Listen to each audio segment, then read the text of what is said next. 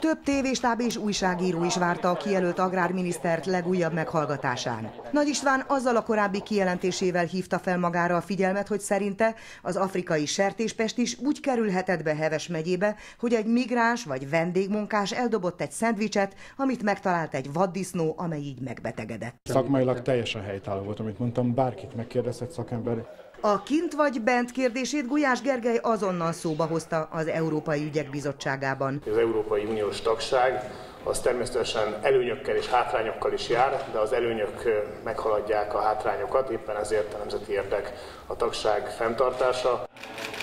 Varga Mihály pénzügyminiszter jelölt azt hangsúlyozta, hogy a gazdasági célok változatlanok. Munka alapú társadalom, az adóterhek csökkentése. Varga Mihály a következő években 4% körüli bővülésre számít, és ehhez felelős költségvetést ígért. Moda Jágnessel folytatjuk, tehát a DK parlamenti képviselőnek jó reggelt kívánok. Jó reggelt kívánok. Milyen volt meghallgatni Pintér Sándort a rendészeti bizottságban? Sokszor meghallgattuk Igen. Pintér Sándort a, a, az Országgyűlési Bizottságban. Általában fölkészülten szokott jönni, ezért válaszol a kérdésekre.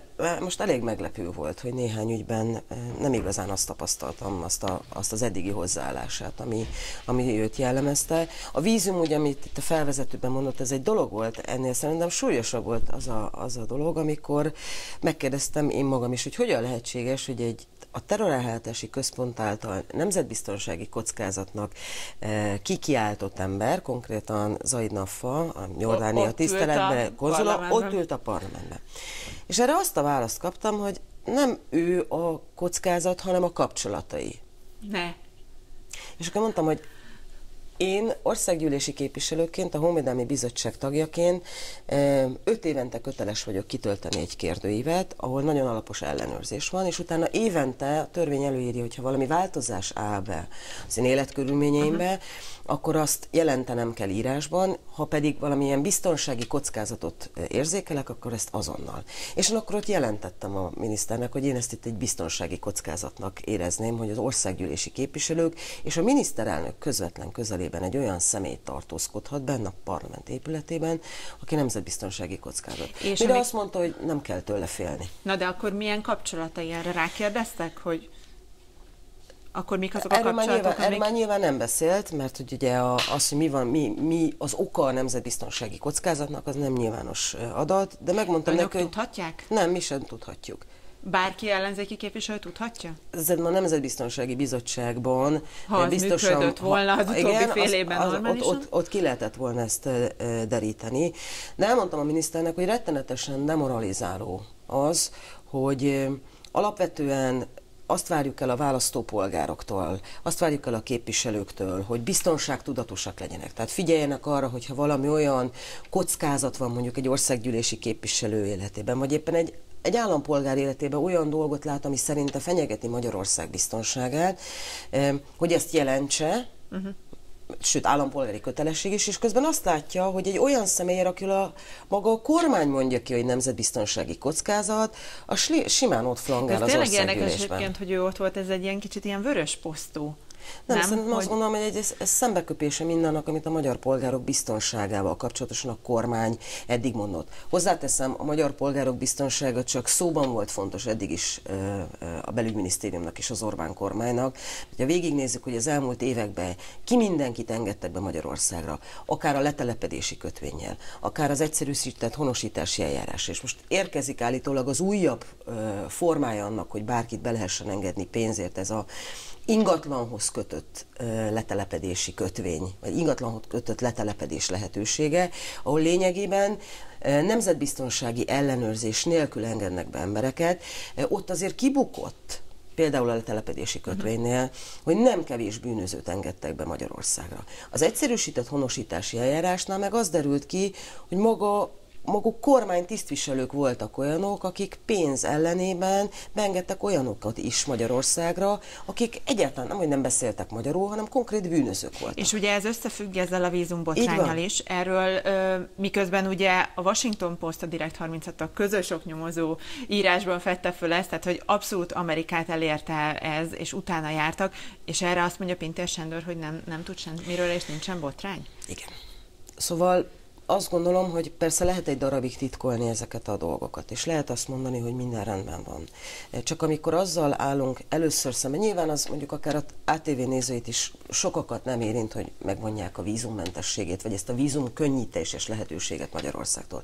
Csak amikor majd ez átgyűrűzik Európába, hát, és, veszély, és veszélyezteti például Magyarország Schengeni tagságát, és a magyar útlevél, amit oly értékesnek tartunk, hiszen nagyon sok országba lehet vele utazni, az Európai Unió területén meg szabadon lehet menni.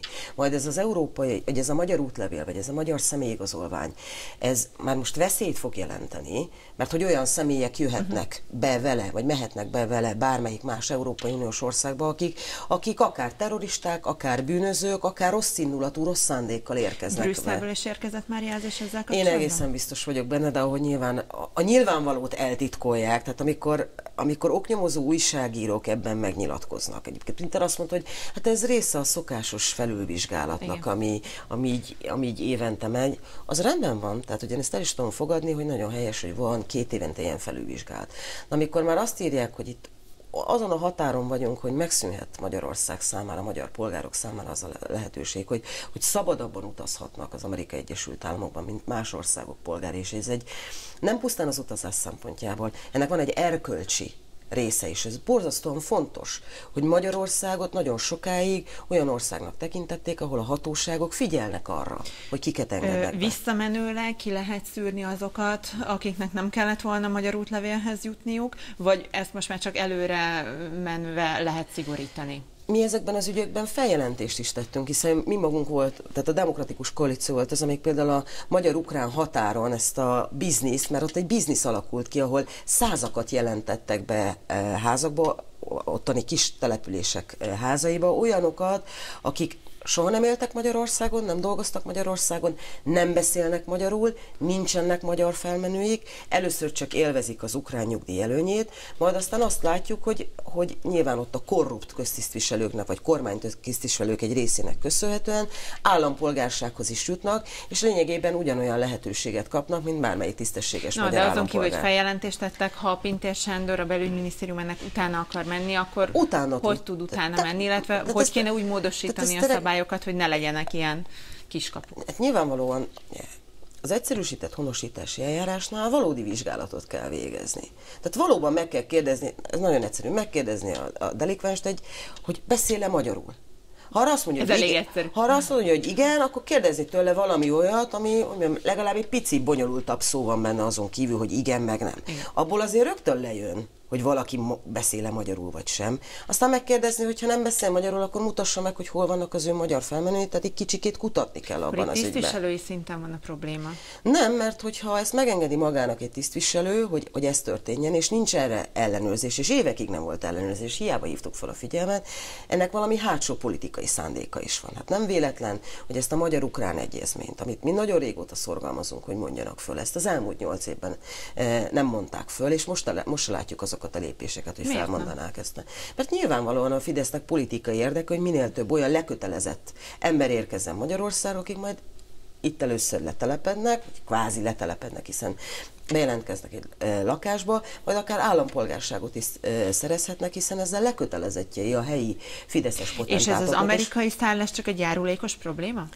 Szerintem ez egy, hogy nem járulékos, szerintem ez egy komoly probléma. De úgy értem, hogy nem gondoltak arra, hogy Amerikáig érhet ez a botrány, hogy valaki magyar útlevélhez jut, és így eljut Amerikába, miközben még magyar útlevélhez sem juthatott volna? Miután ők alapból azon, tehát az Orbán kormány álláspontja alapból az, hogy ők ebben az országban, ezen a 93 ezer négyzetkilométeren azt csinálhatnak, amit akarnak, ezért szerintem az ő gondolkodásukban az van, hogy tulajdonképpen a világon is azt csinálnak, amit akarnak. Ennek némiképp gátot szabnak hogy más országok, más kormányok, más köztisztviselők. De a másik probléma, amit, amit korábban jeleztünk, amiről nagyon sokszor beszéltünk, ugye ez a letelepedési kötvény. Amit ugyan felfüggesztettek, de még egyszer mondom, ma is lehetett róla olvasni, és régebben is jött a plegyka, hogy most kifejezetten ingatlan vásárláshoz köthető letelepedési lehetőséget fognak adni, és ott is annyi az ellenőrzés, hogy megnézik, hogy az illető szerepele magyarországi nyilvántartásba, esetleg körözi az Interpol uh-huh. vagy az Europol, de például azt nem vizsgálják, hogy honnan származik az a vagyon, amiből azt az ingatlant akarja megvásárolni, vagy amiből azt a kötvényt vásárolt. Hogy előfordulhat, hogy olyan személyek is jutottak korábban letelepedési lehetőséghez, akiknek a vagyona akár terrorista szervezetekhez, vagy nemzetközi bűnözői csoportokhoz köthetők. Tehát én azt hiszem, hogy ez az egész amerikai vízum ügy, és általában az a biztonsággal kapcsolatos kérdések, ahogyan Magyarországot, illetve a magyar kormányt és sok-sok magyar tisztviselet kezelnek, ez már ennek a folyamatnak a betetőzése. Hogyha egy picit távolabbról nézzük azt, hogy ahogy most is elmondta, érdemi válaszokat nem nagyon kaptak Pintér Sándortól, korábban a Nemzetbiztonsági Bizottság sem kapott más ügyekben.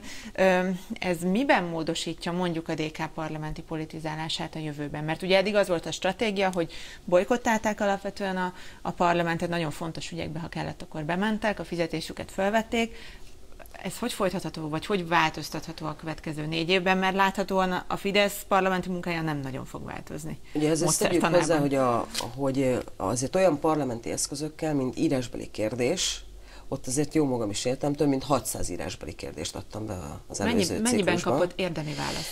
Hát néhány kérdésben olyan érdemi választ kaptam, hogy konkrétan a válaszból derült ki, hogy mit kíván tenni a kormány. Erről a sajtó is ö, több alkalommal cikkezett. Tehát az írásbeli kérdés, mint forma, sokszor azért hasznos, mert ott azért kiderülhetnek olyan információk, amikről, amikről talán kevésbé beszélnek mondjuk a parlamenti bizottságüléseken, vagy a plenáris üléseken.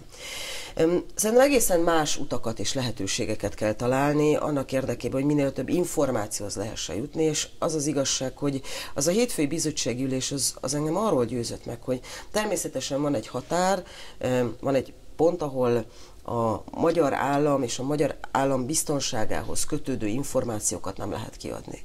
De van olyan határ, ahol, ahol, ahol van olyan pont, ahol nincs határ, azt mondom. Tehát, hogy miközben betart, be kell tartani bizonyos szabályokat, mert nem lehet arról beszélni, hogy mondjuk a magyar harckészültséget mi veszélyezteti, de van olyan pont, ahol azt gondolom, hogy beszélni kell, és azokhoz a dokumentumokhoz, hogyha hozzájutunk, akkor ezt nyilvánosságra Hát a sajtó örülni fog, igen, ha minél több információ. Nem azért akarom, tehát félreértés ne essék, nem azért akarom ezt nyilvánosságra hozni, ezeket a dokumentumokat, meg ezekről beszélni, hogy, hogy a sajtóban megjelenhessünk, hanem azért, mert azt gondolom, hogy a magyar hát polgároknak joguk Persze. van azt tudni, hogy ott a hátuk mögött hogyan lehetséges az, hogy biztonsági kockázatnak, kockázatos kapcsolatokkal, a terrorelhátási központ által feltárt kockázatos kapcsolatokkal, ők leginkább nehéz fiúkkal szoktak foglalkozni. Szóval ilyen kapcsolatokkal rendelkező személy simán a miniszterelnök közelébe kerülhet. Szerintem ez bűncselekmény. Köszönöm, hogy itt Én volt. Is köszönöm.